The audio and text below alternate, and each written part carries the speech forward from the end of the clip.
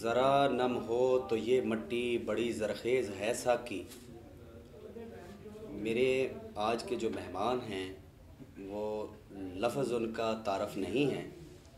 नौजवान हैं, जज्बा खिदमत से सरशार होकर सियासत के मैदान में उतरे हैं। चूँकि हमारे पाकिस्तान में एक अलमिया है कि जहाँ मरूसी सियासतदानों ने पाकिस्तान का घेराव किया हुआ है, और ये एक ऐसा नौजवान है जिसने एक ऐसी जमात का इंतखब किया कि जिन्होंने पाकिस्तान जो है, उसकी सालमियत के लिए इतना काम किया है कि जितना हम बता ही नहीं सकते। मेरे आज के मेहमान हैं मियाँ रजवान यूसुफ, जो जमात इस्लामी के साथ उनका तलक है और अलाका गरबी के सदर भी हैं और आने वाले जो इलेक्शन हैं बलदियाती, उसके नाज़म के उम्मीदवार भी हैं। मेरे जो है जो मुझे बड़ी खुशी है कि ये जो नौजवान है, इसने जो है, जो सियासत जो है, उसमें अपनी जो हिस्सा डालकर ये साबित किया है कि मैं पाकिस्तान के लिए कुछ करना चाहता हूँ। इनके बहुत से जो है, वो एम्स हैं, वो जो पाकिस्तानी अवाम के लिए इन्होंने चॉइस जिनको किया हुआ है, हम अब इनसे बात करके ही पूछेंगे कि मियाँ साहब, आप जो है, वो क्या करना चाह रहे हैं और आपके मकासद क्या हैं? और आप जो है मंशूर के बारे में भी बात करेंगे। मियाँ रजवान यूसुफ साहब अस्सलाम वालेकुम। जी वालेकुम आप कैसे हैं जनाब? अल्हम्दुलिल्लाह जी बिल्कुल अलेवन न्यूज़ में आपको हम खुश आमदीद कहते हैं। जी बहुत शुक्रिया। और आपकी बहुत ही ज़रा नवाजी कि आप अपना कीमती वक्त जो है वो आपने निकाल कर हमें टाइम दिया। तो मियाँ रजवान यूसुफ साहब मुझे ये बताएँ अपना पहले मुझे तारफ़ करवाएँ कि आप जो है कहाँ रहने वाले हैं और मुझे तारफ़ करवाएँ प्लीज़ जी मेरा नाम मोहम्मद रिजवान है जी मोहम्मद रिजवान यूसुफ। मैं मंसूरा का रहायशी हूँ जहाँ जमा इस्लामी का हेड क्वार्टर मरकज़ है। वहाँ का मैं रहायशी हूँ और जमा इस्लामी यूथ विंग हल्का गरबी के सदर की मेरी ज़िम्मेदारी है जी। और मियाँ साहब मुझे ये बताएँ कि ये चूँकि स्पेशली आपको नौजवानों के लिए जो है उसके आप प्रेजिडेंट भी हैं। जी। और आप क्या इकदाम करना चाहते हैं नौजवानों के हवाले से? चूँकि आपने सियासत में अभी कदम रखा है, जब हमारे प्राइम मिनिस्टर जो भी आते हैं, वो एजड होते हैं, उनका ओल्ड होना ज़रूरी है तो क्या सियासत में जो है, वो कोई तजर्बा हासिल करना पड़ता है? ये आप मुझे बताएँ। जी, देखिए, बात यह है कि सियासत बेसिकली एक खिदमत का नाम है। लेकिन अगर हम इस चीज़ को समझें, लेकिन हमारे जो मुल्क में जितने भी लोग सियासत में अभी तक आए हैं, उनका मकसद खिदमत नहीं था, उनका मकसद पैसा बनाना था। आपने ख़ुद देख लिया, मियाँ नवाज़ शरीफ साहब थे वो भी पैसा बना के बाहर चले गए। जरदारी साहब हैं, उन्होंने भी पैसा बनाया। जमात इस्लामी एक वाद जमात है, जिसका मंशूर सिर्फ़ और सिर्फ़ खिदमत है। जिसको आपने कराची में हमारे जो मेयर थे, उनका वक्त भी आपने देखा है और अब भी देख लें, वहाँ पे बारिशों के बाद जो हालात हैं, वो भी आप लोगों के सामने हैं। तो जमात इस्लामी का मकसद सिर्फ़ एक ही है, करप्शन फ्री पाकिस्तान और दूसरा खिदमत। अच्छा भैया साहब, ये जो सियासतदान है, वो पहले नारे तो लगाते हैं कि हम फलां कर देंगे, ये कर देंगे। यानी कि जमात इस्लामी को हम देख रहे हैं कि जमात इस्लामी ने स्पेशली जो है वो लोगों की फलाह बबूद के लिए बड़े इकदाम किए हैं। तो आप क्या समझते हैं कि अगर आप, अल्लाह ताला जो है आपको कामयाब व कामरान करता है, चूँकि आप नाजम के उम्मीदवार भी हैं तो आप अपने इलाके के मुझे मसाइल बताएँ और ये बताएँ कि आप जो है आपके जहन में क्या है कि मैंने अपने इलाके के लिए ये करना है और वो करना है, ये मुझे बताएँ। मैं आपको जी थोड़ा सा इसमें गाइड करूँगा। आपने ये देखा कि जब ये अभी रिसेंट जो सब लोगों के सामने है यूथ के भी सामने है, सबके सामने है, मुल्क में कोरोना की वबा आई। उस वबा में किसी भी जमात ने कोई काम नहीं किया। आपको जहाँ भी नज़र आई है जमा इस्लामी नज़र आए जमा इस्लामी की खिदमत आपको हर जगह नज़र आई है। वो हमारे ही नौजवान थे कि जिन्होंने आगे बढ़कर इस काम में हिस्सा लिया और पूरे इस काम को संभाला ताकि मुल्क के अंदर इस वबा में लोगों की हेल्प की जा सके। इस दौरान कोई भी जमात सामने नहीं आई नहीं आई। हर जमात अपने बीमारी के डर की वजह से बैठी रही। लेकिन अल्हम्दुलिल्लाह जमात इस्लामी वाहि जमात है जिन्होंने ये जो टेस्ट था कोरोना का, ये आठ हज़ार रुपये का था। जमात इस्लामी ने तीन हज़ार रुपये में वो टेस्ट किया। जमात इस्लामी ने घर घर जाके उन्होंने खाना पहुँचाया, उन्होंने राशन पहुँचाया, उन्होंने ईद मिलन तकसीम की। इन यही मंशूर मेरा भी है कि खिदमत। अब हमारा जो इलाका है, जहाँ मेरी रहायश है मंसूरा उसके जो मलिका आबादी हैं उसमें मंसूरा है वारस कलोनी है मुसफ़ा टाउन है आज़म गार्डन है। अभी जितनी भी मलिका आबादी हैं इनके बहुत मसाइल हैं वहाँ पे। सही। अभी पिछले दिनों बारिश हुई वहाँ पे डेढ़ डेढ़ फुट पानी खड़ा था मंसूरा के उस वारस कलोनी जो आबादी है हमारी वहाँ पे किसी की फौतगी हो जाती है तो उस दौरान तो वो निकल नहीं सकते अपनी मैयत को बाहर तो मियाँ साहब जैसे ये जो पाकिस्तान तहरीक इंसाफ है उन्होंने कहा जी हम नया पाकिस्तान बनाया तो आप जैसे बता रहे हैं कि आपके इलाके में मसाइल है।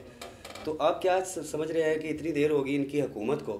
तो अब ये उन्होंने कोई देखा नहीं है उस इलाके को आपको जा देखिए जी नया पाकिस्तान तो अब सबने देख लिया सही। हमने क्या देखना अब सबने नया पाकिस्तान देख लिया है। मुल्क में जो महँगाई की सूरत हाल है वो किसी से ढकी छुपी नहीं है। ठीक है। मुल्क में जो लॉ एंड ऑर्डर की सिचुएशन है वो भी किसी से ढकी छुपी नहीं है। तो नए पाकिस्तान से तो लोगों लोग अब दिल भर चुके हैं उन लोगों का। सही अब हकीकी तब्दीली जो लेके आएँगे वो इंशाल्लाह जमात इस्लामी लेके आएगी जिनका मंशूर भी जो आपके सामने है और भैया साहब जमात इस्लामी का मंशूर क्या है? वो ज़रा व्यूवर्स को बताएँ कि जमात इस्लामी का जो मंशूर है वो है क्या? ये ज़रा वो देखिए जी जमात इस्लामी का एक मंशूर है कि कुरान और सुन्नत की दावत को लेके उठो और पूरी दुनिया पे छा जाओ। इन हम इस पाकिस्तान में कुरान और सुन्नत का नफाज चाहते हैं जी। उसके लिए हम जद्दोजहद कर रहे हैं।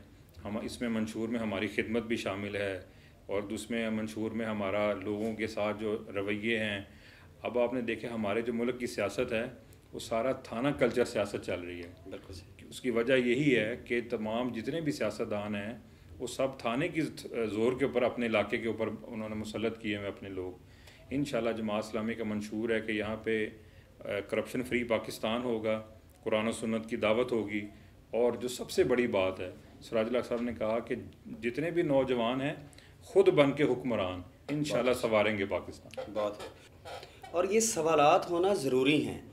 जो भी हो, वो हाक में वक्त हो, उस पर सवाल ज़रूरी हैं। लेकिन यहाँ तो आपको पता है कमिटेड सारा कुछ होता है। जैसे आपने निशानदेही भी की है प्रोग्राम की।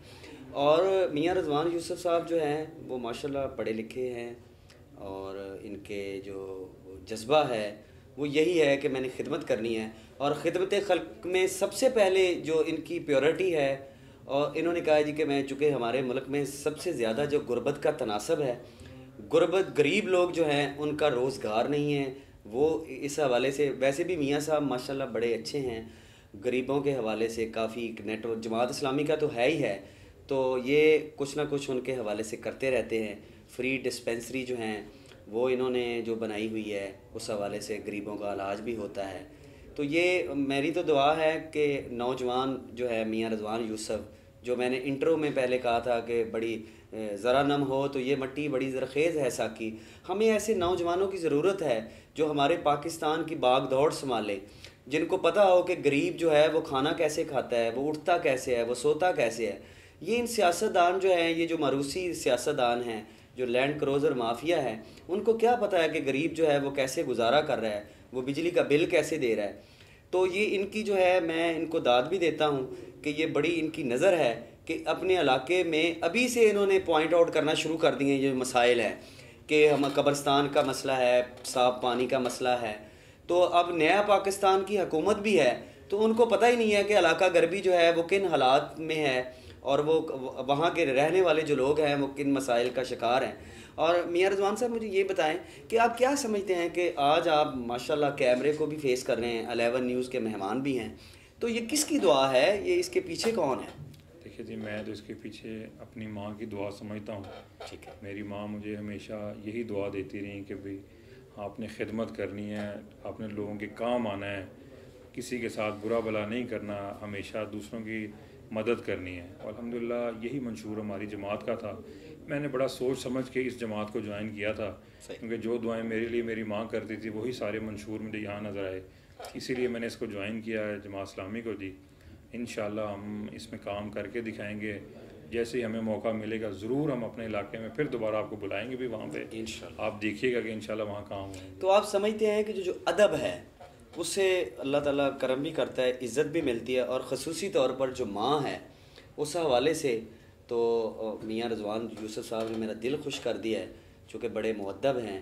ख़ानदान जो है, वो कभी शक्ल सूरत से नहीं पहचाना जाता। ख़ानदान हमेशा अदब से पहचाना जाता है। जब मेरी भी मियाँ साहब से पहली मुलाकात हुई है तो मैं जाँच गया था कि मियाँ रजवान यूसुफ साहब जो हैं, वो आने वाले वक्त के, वो उनको अल्लाह ताला कोई ज़िम्मेदारी सौंपने वाला है। क्योंकि इलाका जो होता है ना जी, वो बहुत बड़ी पहचान होता है। तो ये मियाँ साहब की जो इज्जो इनकसारी है, और माशाल्लाह पढ़े लिखे हैं, मुझे तो बड़ा मज़ा आ रहा है इनके साथ गपशप करने का भी। और चूँकि आजकल जो है, वो सियासत जो है, वो बना ली है कि एक दूसरे को गाली दें, और बल्कि ये नहीं है कि किसी ने अपने इलाके का कोई काम सोचा है। देखें आज का नौजवान जो है, मियाँ रजवान यूसफ, उसने ये साबित किया है और फिर प्लेटफॉर्म बड़ा अच्छा उन्होंने चॉइस किया है, जमात, जिसमें मज़हब जो है, उसको पूरा उसकी तरवीज है। नमाज़ कैसे पढ़नी है? हमारा अकीदा क्या है? हमने जनाब, उसवाए हसना जो है, उसकी पैरवी कैसे करनी है? और क्या आप समझते हैं कि रजवान यूसुफ साहब, मुझे ये बताएँ कि अल्लाह के रसूल के उसवा हसना की तो आपने बात की। तो एक सियासतदान है उस पर अगर लोग उसको सवालत करें तो वो क्या गाली पे उतर आता है? तो क्या आप इस, इनको, इन सियासतदानों को क्या आप कहना चाहते हैं? मुझे अभी तक, मुझे कुछ दिनों पहले की बात याद आ रही है।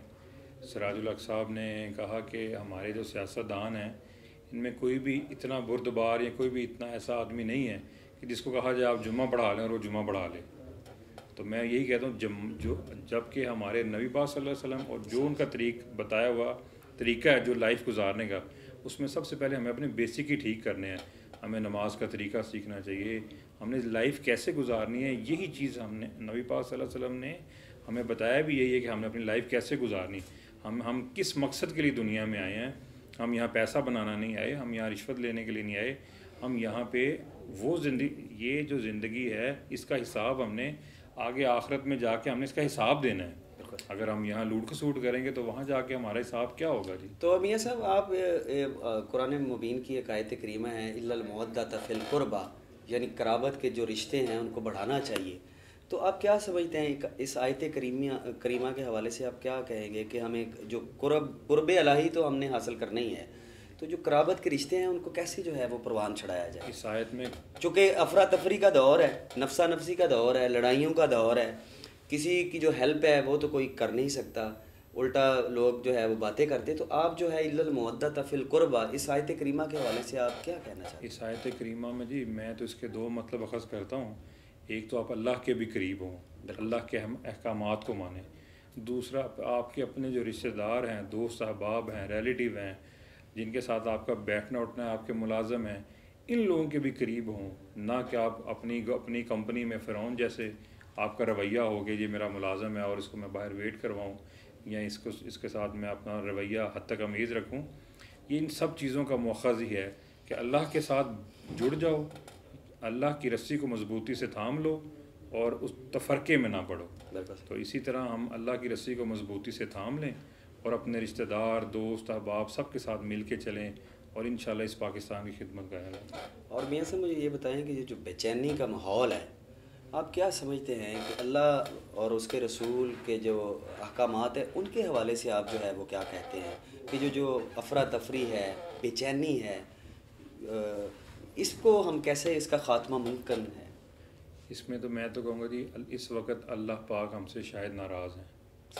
हमारे ऊपर हर रोज़ कोई नई आफत, कोई नई वबा, कोई नई बीमारी, कोई नई, कोई नया प्रॉब्लम फूटता है। अभी आपने देखा कि करोना आया।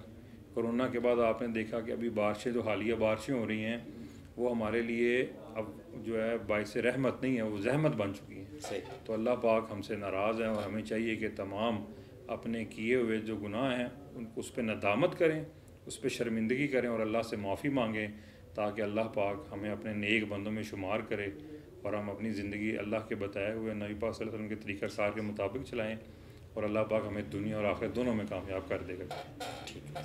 और मियाँ साहब, मियाँ रजवान यूसुफ साहब जो हैं, उनसे मुलाकात करना मेरे लिए भी एजाज़ है, चूँकि नौजवान है और मेरे मेरे कलम ने हमेशा नौजवानों के लिए लिखा है। और मुझे बड़ा फ़ख्र है कि मियाँ साहब जो है, जो उन्होंने बातें मेरे से की हैं कि अल्लाह ताला इनको कामयाब व कामरान करे, चूँकि मियाँ साहब के जो है ना बिहाइंड इनकी माँ की दुआएँ हैं। तो इनको कामयाबी अल्लाह ताला की रहमत से ज़रूर मिलनी है और अल्लाह इनको कामयाब भी करे। और मियाँ साहब जो हैं, वो फिर ऐसा सतारा बन के चमके कि लोग जो हैं, वो वाकई ये समझें कि मियाँ साहब ने जो कहा था, उन्होंने पूरा करके दिखाया है। तो मियाँ साहब, जो हमारे प्रोग्राम के आखिर में अलेवन न्यूज़ के हवाले से हम पूछना चाह रहे हैं कि ये कैसा नेटवर्क है, ये उसके हवाले से ज़रा थोड़ा सा जी बिल्कुल मैंने इसको देखा ये एक डिजिटल न्यूज़ चैनल है जी। मैंने इसको विज़िट भी किया ऑनलाइन देखा इसको। अल्हम्दुलिल्लाह ये आपकी बड़ी अच्छी काविश है। मैंने देखा जो उस पर लोगों के आप इंटरव्यूज़ और जो मुख्तु चीज़ें उसमें आप शेयर करते हैं वो सारी पॉजिटिव चीज़ें हैं। और हमें इस टाइम ज़रूरत भी पॉजिटिविटी की है। आपने बकाया न्यूज़ चैनल देखे होंगे हर वक्त नेगेटिव न्यूज़ चलती है और मौका ढूंढते हैं कि कोई ऐसी न्यूज़ मिले कि जिससे बेशक प्रॉब्लम जितनी मर्ज़ी फैले लेकिन हमारी रेटिंग बढ़ जाए। लेकिन मैंने देखा एलेवन न्यूज़ हमेशा पॉजिटिव काम कर रहा है। जितने भी उसने इंटरव्यूज़ लिए हैं जितने भी उसने चीज़ें शेयर की हैं वो सारी बड़ी पॉजिटिव थी और अलहमदिल्ला उससे एक पॉजिटिव इमेज पाकिस्तान का भी जाता है और पॉजिटिव लोगों का रवैया भी पॉजिटिव हो जाता है इससे। और मेरी बड़ी खुशी है मुझे कि मेरा इंटरव्यू एलेवन न्यूज़ पे हो रहा है। इन हम इसी तरह आपके साथ मिलके चलते रहेंगे। जैसे ही हमें वहाँ खिदमत का मौका मिलेगा इन हम आपको अपना इलाका भी विज़िट करवाएँगे और बताएँगे शाना बशाना आपके साथ है अलेवन न्यूज़ शाना बशाना आपके साथ है। और मियाँ रजवान यूसुफ साहब जो हैं उनके साथ मैं बिल्कुल जाऊँगा इलाके के मसाइल जो हैं।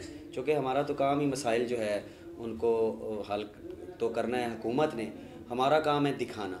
तो मसाइल जो मियाँ साहब ने बताए हैं कब्रस्तान का जो सबसे बड़ा मसला है इलाका गरबी का वो मैं ज़रूर जाके अपने प्रोग्राम के तवसल से बल्कि मियाँ साहब से उधर भी जाके इसी मसाइल पे लोगों को दिखाएँगे कि जो हुकूमत है उसकी कारकर्दगी देखें। और ये देखें कि लोग जो हैं वो किस मसले में फंसे हुए हैं। ये बहुत बड़ा अलमिया है कि अगर कब्रस्तान का मसला है तो इससे बड़ा पाकिस्तान में और क्या मसला हो सकता है? और जनाब बहुत शुक्रिया मियाँ रजवान यूसुफ साहब। और अलेवन न्यूज़ जो है वो आपके लिए हाज़िर है। जब भी आप कहेंगे हम हाज़िर हैं तो मैं तो आपका थैंक्स करना चाहता हूँ। बहुत शुक्रिया।